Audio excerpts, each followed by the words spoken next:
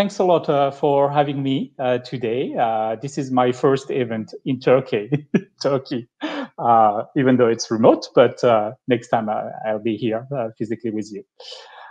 so I hope you're all doing fine. my goal today is to, to speak about machine learning. but what's weird, I'm speaking about machine learning, but I'm not an expert. So that's a bit weird, but I hope you'll understand why. so quick um, presentation. Uh, my name is Laurent Picard. Uh, by my accent, you can tell uh, that I'm French. I work with Google Cloud. I've been working with them for four years now, almost. And before that, in a previous life, I was an ebook pioneer for 17 years. So in 1999, for instance, we made the first uh, ebook reader uh, in Europe. It was uh, like a big iPad, but before the iPad in 1999.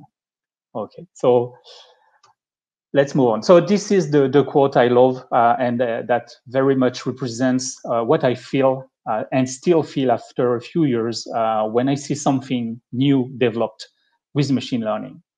Uh, magic, magic. but you know, this is not magic. This is just technology. You scratch a little bit the surface, and it's technology. And you all know technology. So my goal today is to show you, even if you're not an expert, that you can use machine learning different ways and maybe build smarter solutions thanks to machine learning. Uh, and hopefully also uh, uh, may, that may give you a, a few ideas. So uh, what is machine learning? So this is my own definition of machine learning after a couple of years. Uh, I'm not an expert. Uh, for me, machine learning is you have data as an as input, right? And from this data, you want information. You want to extract information. You want to understand what's in your data, maybe uh, do prediction, maybe get uh, specific insights. Um, so that's my definition. But it's a bit wrong. The real definition is that uh, machine learning is actually a part of AI, right? That, you know that. And uh, in particular, we are mostly speaking about deep learning, which is a, a subset of machine learning. Now the, the, the, term machine learning is, is catching on, so I, I will mainly uh, use machine learning uh, as a term, but experts use uh, deep learning. So what is machine learning? How does it work? Um, so it started 40 years ago, and researchers at the time tried to mimic the way uh, they thought and we think still uh, our brain works. Um, it is uh, using examples. And you, if you think about it, this is how we learn. Uh, we think uh, uh, as kids, we see our parents, we see our friends, we see our family, our teachers, we see examples, and, and we learn from that. We extract information, we memorize, we learn, maybe we try, but uh, new examples, but we learn from that. And this is uh, what uh, machine learning is doing. It is learning from examples. And the magic, the magic is that uh, we now manage to solve problems thanks to machine learning, problems that we couldn't solve before or badly with uh, algorithms. So that's the magic. And I, I, I really, truly feel that, that magic. Um, how can you how can we developers benefit from machine learning today um, if you're an expert then you know how to deal with neural networks you know how to build them uh, but I hope you'll you'll learn a couple of things uh, in, in, the, the next slides. Um, if you have developer skills, then there's a first way, which are the machine learning APIs. So these APIs are existing pre-trained machine learning models. They have been trained most of the time, been trained most of the time on millions of samples. Uh, and they are state-of-the-art models. You can use them through an API, uh, a web API, sometimes an embedded API on Android and so on, on a, on a browser. And there are models ready to use. And in between expertise and APIs, is a new field called AutoML uh, that is uh, very much uh, pushed by, by Google. Uh, I think the term AutoML now is uh, starting to catch on also and is becoming uh, like a standard. And with AutoML, you're going to be able to build your own models, your machine learning models, without any expertise. And that's filling a big gap because all developers cannot be data scientists. It's impossible. And my goal, so in this presentation, my goal is to show you these building blocks so you know they exist, so you have an idea of what they can do, and maybe uh, let you integrate uh, them into your solutions. So let's start uh, with the machine learning APIs. Um, so if you remember my definition, you have data um, as input. So the, the data can be uh, images, videos, text, or even speech. And from that, you extract information. And sometimes this information, so your output, is your input that has been transformed into a more in intelligible way. You can uh, better process or understand uh, your output than your input. So those are, uh, this is the machine learning API family uh, that you can find on Google Cloud. Uh, I like to start with the Vision API because uh, as a student, so that was in the last century, in the in the 90s, uh, as a student, I, I, was working on pictures and uh, I was trying to understand with my teachers how to understand what was in the picture. And at the time, the only way we had, or idea we had or what was kind of working was using image processing and detecting edges. And from the edges, we could kind of get an idea or trying to find objects in the in the picture. So it kind of worked, but as soon as we would use a new picture, then it just failed miserably. So machine learning is the solution uh, for a few years now, and, and that's the magic again. So if you give a picture to uh, Vision, uh, to the Vision API, it will describe it to you with labels. So, so this is an example of a picture from, from New Zealand. And here it tells me that this picture is about nature. Uh, most likely there are flowers. And this is the JSON response that, that I can get, okay? More precisely, so this is the same picture, but I change it. So it's a picture I got from the web. I change it, I zoomed in, cropped it, flipped it, and changed the colors. Here, the vision model is still able to match this picture with something that uh, exists on the web. And from that is able to give me the location of this picture. And that's right, this is Hobbiton. This is where the um, Lord uh, of the Rings movies were shot. Uh, and so it means you can even get the precise uh, GPS location. More precisely, if there are objects, people or uh, objects in uh, the picture, you will know, you will get the bounding boxes. So like here, so I guess the cast here was in a restaurant. And here I get bounding boxes for the different uh, persons here, even in the back here. Uh, I get bounding boxes for the pants the tops and even even the, the uh, ceiling lamp here okay still even more precisely if there are faces it will give you the location of the faces uh, even the location of the different features. So where is the nose the mouth and so on. And try to detect generic emotions.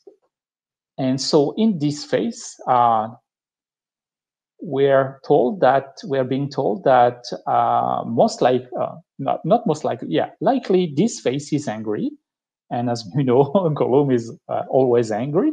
So it, it works here. Uh, every time you get a, a, confidence or a score to to know whether you can trust very well or if you should be cautious about the results. You even get a, a few more um, results like the position of the head in 3d uh, if the picture is blurred, uh, if the face is wearing a hat or something uh, on the head. So you can understand what's in the picture. But if you have text in the picture, it also works. So that's OCR. Uh, maybe you heard that uh, uh, during the first talk, OCR, optical character recognition. So many companies have worked on that for decades. it kind of worked pretty well but still it was still making a few mistakes. Um, and machine learning again is solving this problem, so it's fully solved. If I give this screenshot to uh, the Vision API, I get different results. I get uh, a high level blocks, so like uh, paragraphs. I get uh, blocks for the different sentences, blocks for the different words, and even blocks for the different symbols. And of course, I get this, the text transcription here. And it is making no mistake at all. Uh, it is perfect. So uh, also one thing I, I, like very much to try is see the limits of the model. So if I take this same screenshot and put a perspective effect on it, it is still working uh, perfectly, uh, not making mistakes. So the next step, so this is uh, type written text. The next step is that now the Vision API also works on handwriting. So this is a, a piece of paper from uh, from uh, Tolkien himself, who wrote his uh, famous uh, quote for the Lord of the Rings. And here the Vision API is able to uh, transcribe uh, this handwritten text. Of course, it's a, a lot harder problem. So here, for instance, I would like, I would have preferred to have the attached with Lord of the Rings. Uh, we can we can understand that. Uh, so the vision model, not yet, but almost. Uh, and yeah, it's making one mistake here, uh, missing for shadows. Uh, it read uh, a V instead of a W. but it's almost it's very very, very a very very good result uh, very amazing given the, the difficulty of, of the task. What is the limit? Uh, it's the human limit. If a human is not able to read the text, then the machine learning, as of today, uh, model will not be able to read it either. Uh, maybe the limit is um, um, a piece of paper, a text written by a doctor. Uh, you know, uh, so that's a joke in, anyway. In France, doctors they write prescriptions, so now they print them uh, but some still write them and they can't re- read them themselves back. So, so that's the limit. Okay. And finally, if there's some, something famous or someone famous in the picture, uh, the Vision API, API is able to tell you so. So here I've taken a picture again that I've transformed. I zoomed in, uh, cropped it, and changed the colors. So there's not any pixel in common or or very specific area uh, uh, so it's coming from something existing. And the Vision API is able to match it with the picture I've used from a Spanish newspaper. So this is a very rare picture uh, that has been used only once, and it does work. It tells me that this picture is about Tolkien, uh, and that's true. And what I love here is that for the web entity, I get an identifier. This ID perfectly perfectly identifies Tolkien, G.R.R. Tolkien. If it was uh, Tolkien, Christopher Tolkien, the son, then I would get a different ID. So you see, you can really understand what you have in, in pictures.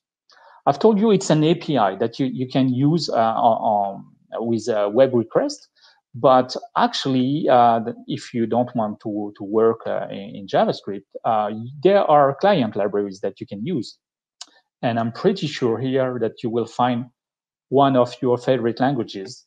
So in my case, uh, currently, this is Python. So here in this code sample, it's always the same principle.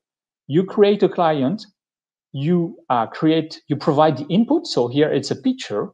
So here you give the URI of the picture, for instance, and you call the feature you want, face detection. And then in something like one second, you get the answer. Uh, you get all the faces with the bounding boxes, with the, the, the sentiment that uh, the, the, the emotion that has been uh, detected. So you see, it's very, very uh, easy to use. I've used that for my first demo that we'll do a bit later. Uh, and it took me two hours to integrate that into, into a demo. So it's very, very easy. Now, the video intelligence API. So it's basically the same, but with one more dimension, time, right? A video is pictures uh, in time. So you can extrapolate uh, the features, um, but with the, the additional dimension with time, uh, it also means that you can get, you can detect the different sequences within the video. So it means that here, for instance, the video intelligence API is able to tell me that at this segment, this location, this sequence, there is a polar bear. And if you ask for object tracking, then you will get the location of the bear and you will track it. Uh, you will know exactly where the bear uh, is. And if there are a few of them, uh, then you will track the different objects. Okay. Once again, with the client library, it is very easy to use. The same principle. If, I, if you want to track object, you create uh, a client, you specify the features you want. So for instance, object tracking. You can specify if you want to work on the whole video or just on some specific segments, and you call annotate video. It takes a bit more time than for a picture, of course, because it depends on the length, the duration of your sequences or, or of the, the whole video, if you, you want to analyze the whole video. But after that, you have your results. So here I have written uh, this code lab, this tutorial, and, and from this tutorial, uh, I'm being able to, to do that uh, and extract, uh, track this uh, uh, insect and, and do a small animation out of it. Okay. Uh, by the way, uh, I will give you the link to this presentation at the end, uh, so you will have everything. Don't worry about taking a screenshot or, or, or anything. Okay. Next, after pictures and videos, text. So once again, this is a very, very big field. Um, it's called NLP, Natural Language Processing. So like OCR, it's a big field or vision, um, computer vision. NLP is a very big field, maybe the first one uh, on which uh, experts work to try to understand what's in a text, to understand uh, text. And once again, machine learning is solving this problem very, very nicely, providing better results than previous algorithms. So uh, another example with Tolkien. If I give this sentence, but it can work on a whole book almost or paragraphs, uh, big corpuses of text. If I give this sentence uh, to the natural language API, first I know uh, which language it is written in, uh, so English here, and I can get the syntax of uh, uh, the different sentences.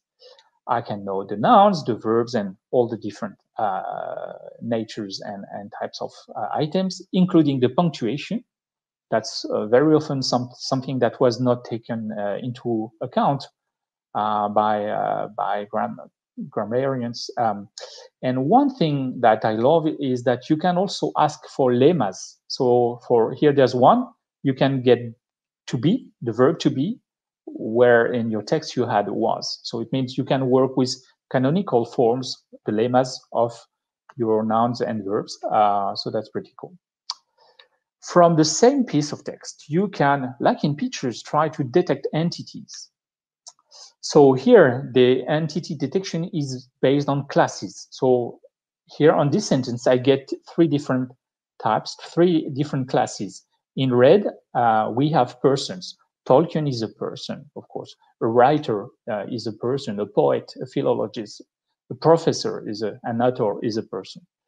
Uh, and maybe you'll notice that I get also something very, very cool is that here I get the same ID about Tolkien that previously uh, when I had a picture with Tolkien on it.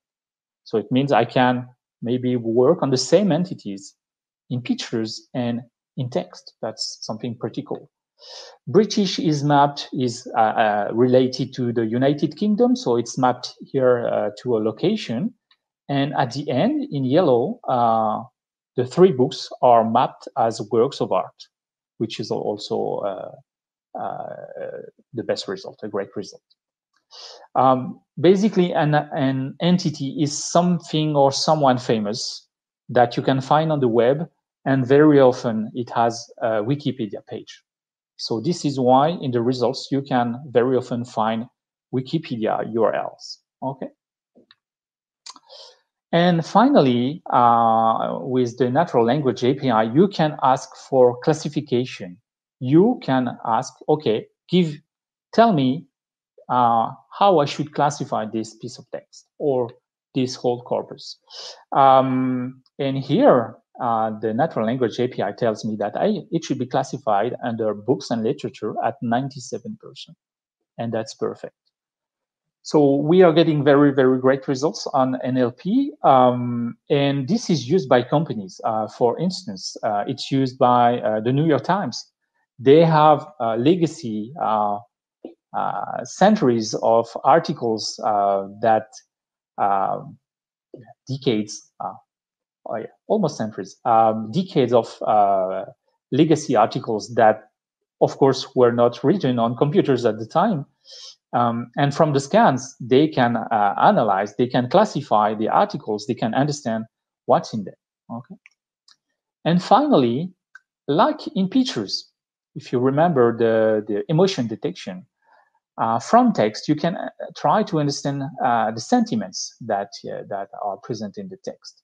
So to illustrate that, I've taken two articles. Uh, the first one is positive, uh, is from the New York Times back in the days when The Hobbit was released. And the second one is a more recent review, a very negative one. And when you give uh, the two different articles or two different reviews uh, to the, uh, the NL API, you get uh, per sentence or per level of text, it depends, uh, you, you get everything, you get a score between minus one and plus one. And it describes uh, how negative or positive is the, the sentence, for instance. So these sentences come from Pauline's review, who hated the book. Okay, nobody can love the same stuff. Uh, you, of course, get a lot of uh, neutral uh, sentences or, or, pieces of text uh, in the results because, in general, we are we are more uh, neutral than positive or negative. And finally, these sentences do come from the positive review of the New York Times. So it, works pretty well. And and once again, you can know the confidence uh, by the level of this score. This is uh, used by companies. Uh, if you are able to understand how positively or negatively we talk about your company, about your products, then it means you can have some kind of intelligence and be more efficient. You can browse tweets uh, and know whether we talk positively about your products or negatively and react, maybe uh, be uh, communicate and answer back quickly uh, when something is very positive or very negative. Some companies are browsing their customer emails and they uh, treat negative emails in priority to be more efficient, to try to solve problems faster. Uh, very positive emails can wait a couple of hours more, right? Uh, to be read and to have a nice answer. But someone who is very angry maybe needs a faster answer. Um, once again, uh, in Python, but uh, it's available in the different languages. Um, how to use the, the, the, NL API, you create a client, you provide a document uh, that can be in text or HTML. And you, if you want to do sentiment analysis, you call analyze sentiment. And then you have the results very quickly that you can use right away here. Okay, so once again, I've written a, a code lab here that if you're familiar with the code labs, those are tutorials that you can use and follow uh, so all of them you can you can uh, follow the tutorial uh, in Cloud Shell. So still on text. So I, I will go quickly on this one, the translation API. So you have, I, I would bet you have all used at least once in your life Google Translate somehow. Um, and so this is how it works. So um, uh, it the input is any uh, or almost any uh, language text. Um, there are over uh, 100 uh, different languages that, that you can specify, and then you specify the, your target language, the output that you, you, you want to get your translation in. Uh, so that's thousands of different combinations. Um, and uh, yeah, I, I, I, like to share something um, because I discovered that uh, when I started to work at Google. Uh, in 2016, so four years ago, almost at, yeah, almost exactly four years ago, I think it was uh, in October. Um, I was using Google Translate uh, and four years, and I was not working uh, with, with, Google, so I was just a simple user of Google Translate. I was translating Asian, Chinese, and Japanese text into English or French, and it was working okay. Um, you could you could tell the, the, the, the, issues because the translation was okay, but there, there were a few mistakes. And one day, uh, four years ago, the quality was a lot, lot better. So, okay, at the time I was happy and didn't uh, bother. but uh, since I've been working with Google Cloud, uh, I learned that actually uh, four years ago, Google switched from a statistical model to a machine learning model. And what's amazing is that I could tell just by using the product, just by using it. Uh, and once again, algorithms, simple algorithms, fine-tuned, made by humans, uh, are now we are, we are now getting better results with machine learning models than algorithms that that we fine-tuned before. Uh, and the quality is very high. So of course, it's not the same quality as a professional translator, but every almost every day uh, it's getting better and better. So why? It's also uh, one specific of um, machine learning models is that as they learn from examples, if there are issues, you can you can input, give new examples, more examples, better examples, counter examples and then the model gets better with time. So that's one of the cool stuff is, and now uh, Google Translate for four years has just kept being better and better, and, and the translation is just amazing. If you want to use it um, uh, in your favorite language, it's actually, I think, only two lines. There are more comments than everything. Uh, translate client, you, you, you create the client and you call translate, and that's it and you can use the, the translation right away.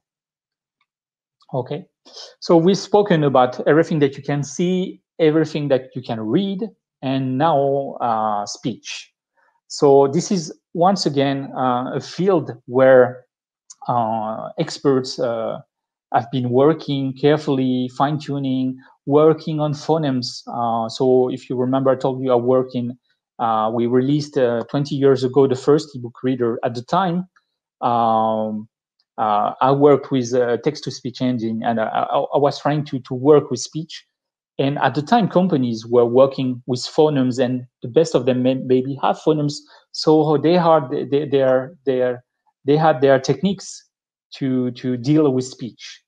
Now, machine learning once again is is solving uh, these problems quite nicely. So the first one, if you speak, uh, the speech to text API is able to transcribe your speech into text. And if you're able to understand or transcribe speech, so it means like before for videos, you can index everything. You can understand exactly uh, what you have in your audio. And it works at the level of every word. You know exactly, uh, you get the timestamps of every word in, in your stream. Uh, so this is another code lab I've written. Um, you create a client, you call recognize uh, with some, uh, with the configuration. And here, if you try this code lab, you will hear me uh, pronounce a French poem, French poetry, a very famous one. And it actually gets translated, uh, Maître Corbeau sur un arbre caché, and so on. And, okay, and with a high confidence you have many different options. Uh, one of the coolest ones uh, since uh, I think it's two years now is that you can ask for punctuation. So this is a pretty hard feature from speech to be able to put punctuation in, in the sentences. Okay. And now the opposite.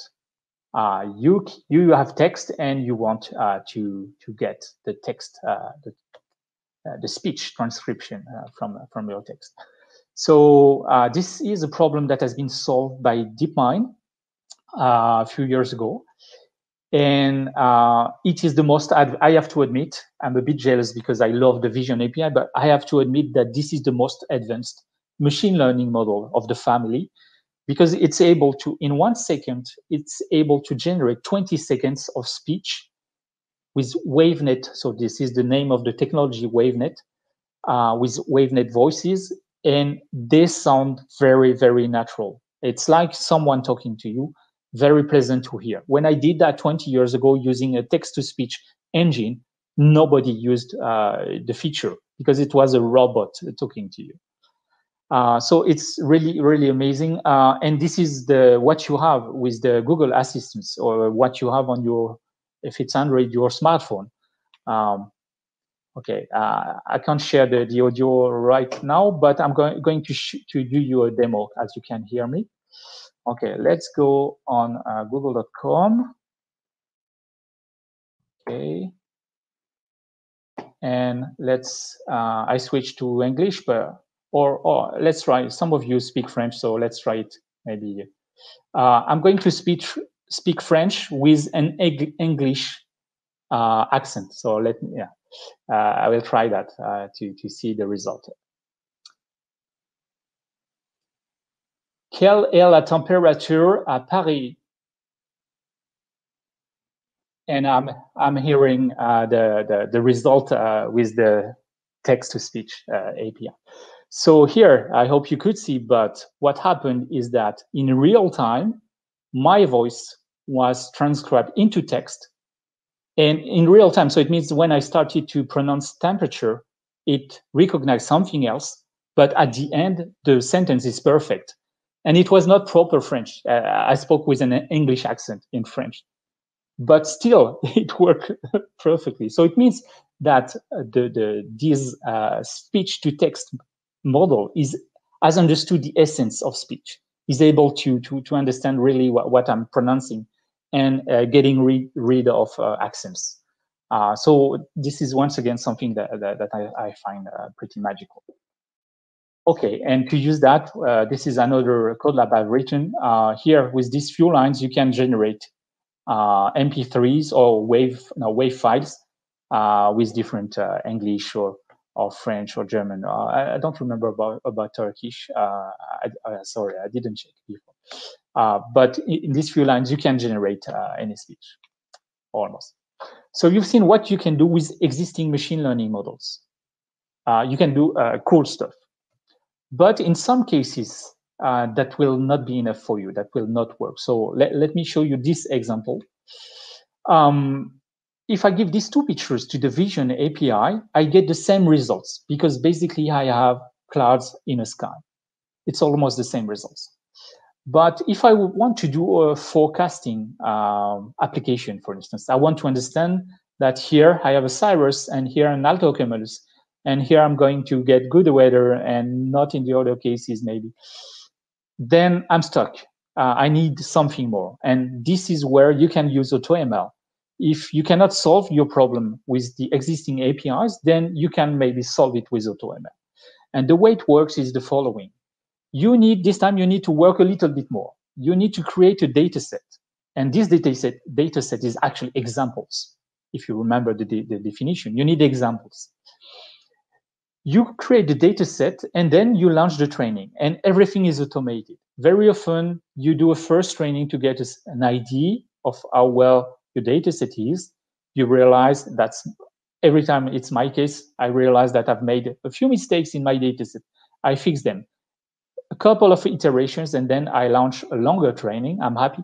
And they, then I have my own API, like the APIs that you've seen, but this is my own private API that I can use for my own solutions to solve my own custom problems.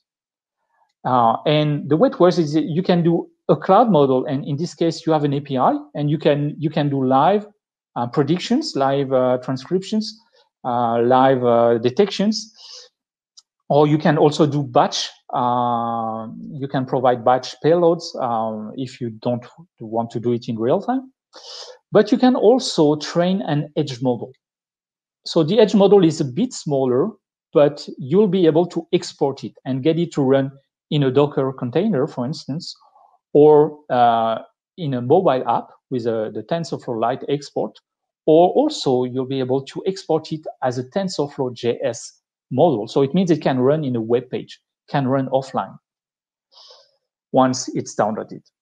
Okay, so in the with the cloud example, what you need is uh, pictures of clouds.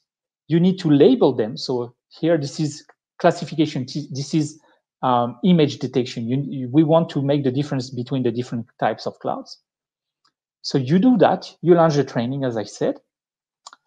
And uh, so this is the first training I did, one compute hours. And I realized there were a few mistakes. And then I did a longer uh, training, three hours. And then I get a very good uh, model uh, after that.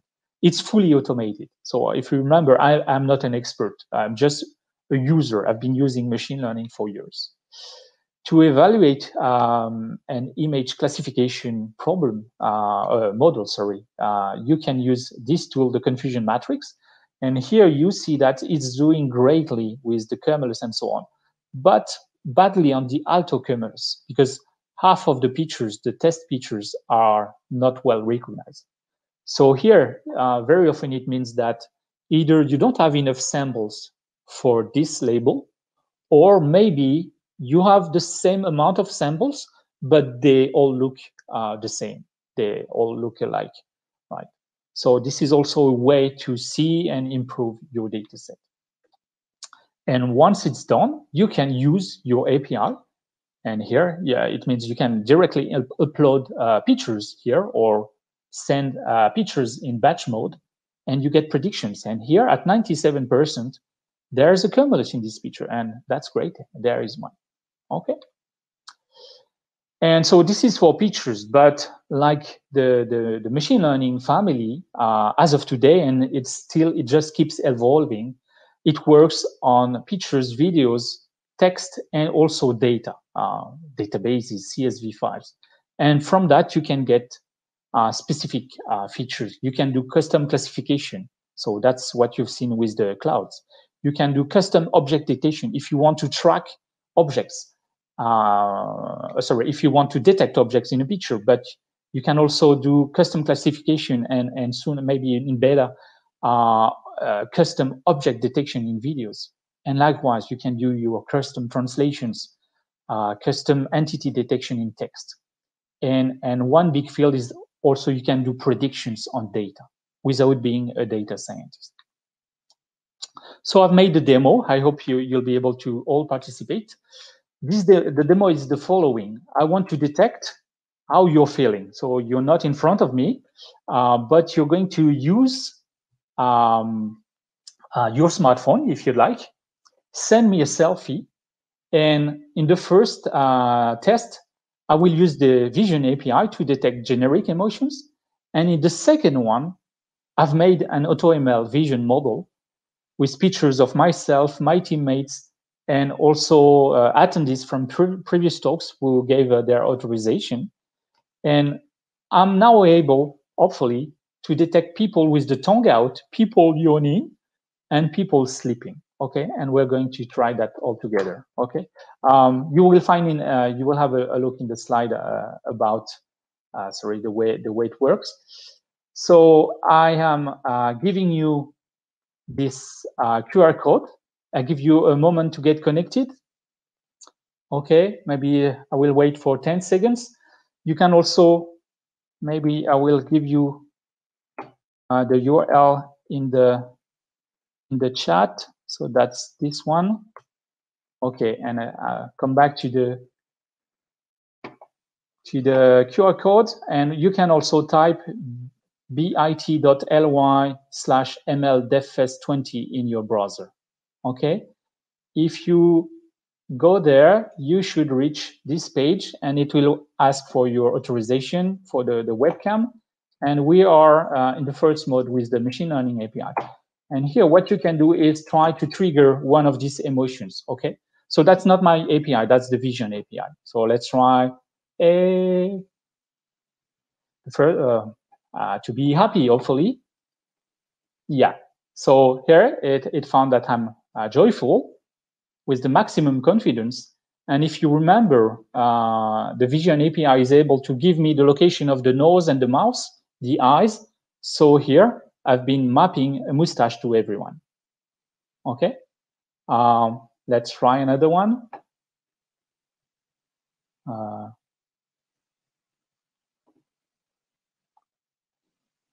so here I'm surprised at 80%. That's great. I should have. Okay. Um, now I'm going to move and uh, with the delay on YouTube, uh, maybe if you're doing it right now, maybe you will be in AutoML mode. So I'm switching to my own AutoML uh, API, so my own machine learning model. And if you go next, if you refresh the page, now you can try my model. You can try to stick out your, your tongue. Okay. So, so now in AutoML mode, you will have the Turkish uh, flag colors, uh, red and white. So here I have the tongue out. Uh, let's try to sleep. Okay, it does recognize that I'm sleeping. But you could say that I'm kind of cheating, right? Because I have created this model with pictures of me. So, so yes, it's it's normal that it's working. So now let's check out how it is working with you. I hope a few of you have been doing it. Yes. So we have a few happy people. I'm the only one surprised. So uh, yeah, and now with the auto ML model, uh, let me refresh the page. Maybe we have more coming now. Yeah, it's because of the delay. So yeah, I will keep refreshing a little bit. So people with the tongue out, it does work. You see, people yawning, nobody. Okay, people sleeping, myself. Yeah, so I won't get more here. Maybe in AutoML mode more. Okay. And finally, also, if you remember, with the Vision API, we're able to detect objects with the precise location. And so it means that here we have people with glasses. Uh, okay, a bit more now. Okay. Uh, so it's pretty, pretty easy to use. um, I did that in two days. Uh, the data set, I needed two days to do the data set. Okay, let me go back here. How much time do we have? Yeah, a couple of minutes, right? Um, so uh, yeah, one thing I want to mention is that to evaluate your model, you have to uh, to know about the positives and the negatives. So the results that you get from your models and the results that you don't get. And if you expect them or not, if it works or not, then you get four different cases. And you've heard about the terms, but it works when you are getting true positives and true negatives. And the mistakes are when you're getting false negatives and positives. Okay. Uh, there are more slides in, in the, the online presentation, uh, but it's time to, to wrap up. So what have we seen? Okay, thanks. Uh, what have, uh, have we seen? Uh, we've seen that there are three ways to use machine learning uh, as a developer. Um, the time you need to use the machine learning APIs, hours. Honestly, uh, all the code labs uh, that you'll get at the end, if you want to try them, in a few minutes, you can use any API and, and try the different features. So just in hours, you can maybe have a, a lot smarter solution. With a AutoML, uh, realistically, you need days because you need to create a data set. So maybe in half a day, that's what uh, I did. For my demo, I took four half days. So the first uh, half day, uh, I created the first data set and you, you need to understand how you need to, yeah, you need to classify, to sort out your examples and so on. So I did it in four passes, but, but totally I needed two days uh, to create the data set. Then you need a few hours uh, to to for the training, and and then you can use the API in your solution. For machine learning, if I was in my 20s, I am in my 40s. If I was in my 20s, I would do machine learning 100 percent of my time, but I'm not uh, young enough anymore. Uh, maybe I would spend, uh, like for ebooks, I would spend uh, 17 years of my life working uh, on this field. What is the difficulty? Uh, for the machine learning APIs, no difficulty at all. You just you're just calling an API and using the results. For AutoML, as I said, you need to create a data set. And your machine learning model will quality will depend uh, on your data set. Uh, so it's up to you uh, to, to do a great solution. AutoML is fully automated, everything with state-of-the-art uh, stuff from Google. Uh, we're using TPU's dedicated hardware to do uh, a very uh, compute uh, intense uh, uh, training with the TPUs, the tensor processing units. so, so you just have to focus on the data set. sorry, yeah, and that's it. And and of course, if you you want to work more on machine learning, and that, and that would be with with TensorFlow, for instance, or PyTorch. TensorFlow has become a standard now then you will deal with everything with the data set, the neural network. Uh, you can reuse, there's it's a full ecosystem. You, you can reuse a lot. Uh, so there are more slides uh, in the online presentation. Here are a few resources, uh, the documentation for the different products for AutoML. So AutoML now is a big field, it's going to get bigger than uh, the APIs and for TensorFlow. Um, I started to write a few articles uh, to give you some ideas. And every time here, I've been trying to solve a specific problem. In the first one here, so it's on Medium, on my Medium account. Um, I wanted to be able to take a video and drag and drop the video in my serverless architecture. And after the processing, get a summary. So here, this is a, a video of a few minutes and I get a 10 second animation out of that automatically. I don't have to do anything. And I can understand what I have in my video here. Here is, is the same still with the visual video intelligence API, but I am creating animations of the different objects. So here I know that there's an animal here in this uh, sequence. In the latest article uh, that is face detection, uh, if you remember, uh, we have detected the faces in the, the demo you just tried. Uh, so here, uh, you can, uh, there's actually another uh, demo in line with the source code on, on GitHub. And, and you can try that out. And every time it's in under 300 lines of code. And every time also I'm using server, serverless technologies. So it means that my solution is somewhere in the cloud, is ready to, to, be, to be working. And as soon as somebody is using it, then an instance uh, is starting and, and you can try the demo.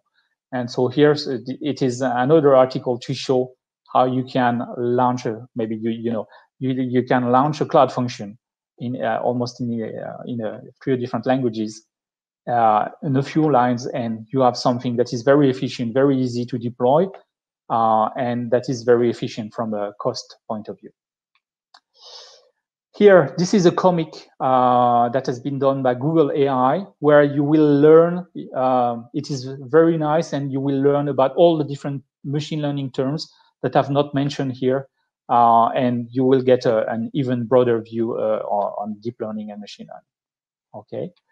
And finally, here are my slides uh, that you can use. Uh, they are ready. And if you want to send me feedback now or in a few months, feel free to come back to me. I'm also available on on, on Twitter. You can follow me on Twitter. This is uh, my handle.